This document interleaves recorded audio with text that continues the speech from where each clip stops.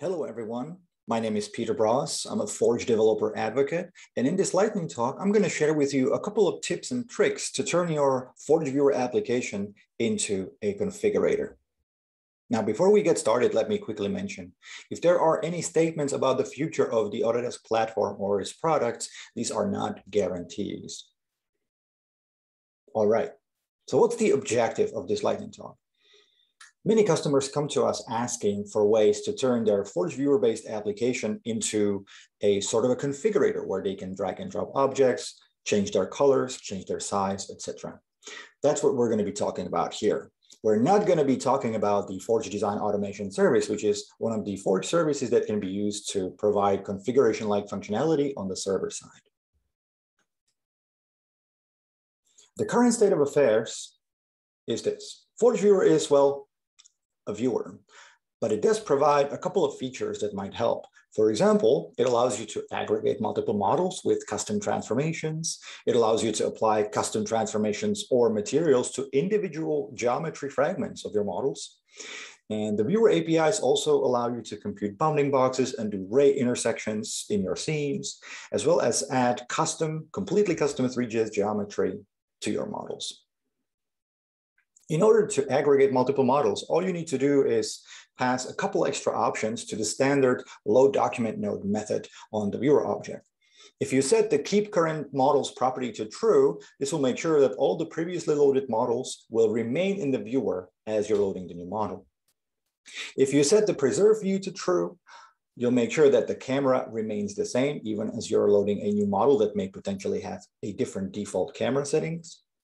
And you can also set custom placement transformation matrix, global offset, or you can also specify apply scaling units. Um, this final property is used to make sure that different models that may be coming with different units all use the same unit system. So for example, if you set the apply scaling property to meters, all the, all the loaded models will be loaded and scaled appropriately to fit in the meter-based coordinate system.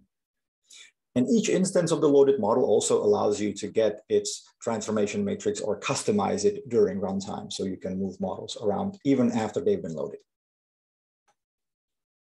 In order to transform individual geometry fragments of your models, what you want to do is obtain the instance tree of your model and something we call fragment list.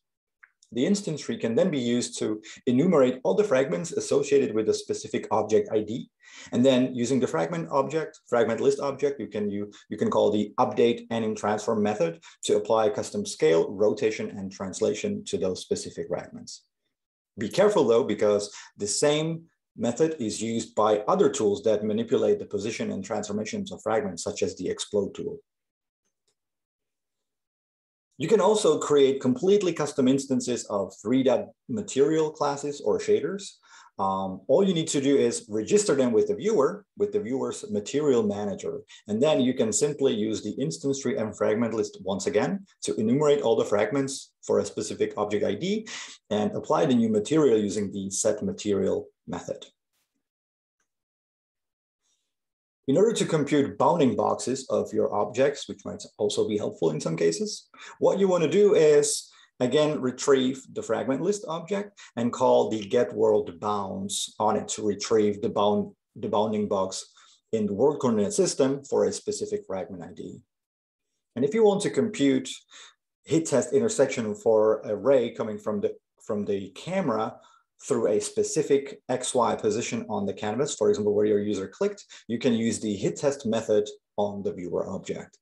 Here, in this case, just be careful. The XY coordinates must be the distance in pixels from the top left corner of the viewer canvas element. And finally, you can also create completely custom geometry by creating new instances of the THREE.Mesh object and inserting it into the scene in one of the two ways, either as an overlay using the overlay manager in the viewer, that's the viewer.overlays property, or by creating a pretty much new Forge model using the built-in viewer extension called autodesk.viewing.scene builder. All right, if you're interested in other samples, we do have a couple of them on GitHub, so feel free to check them out. Or if you're getting started with Forge, here's a couple more resources to help you get started. And we also encourage you to check, check out some of the other Forge events during the Autodesk University 2021. And with that, I thank you for your attention and I wish you good luck with your configurators. Thank you.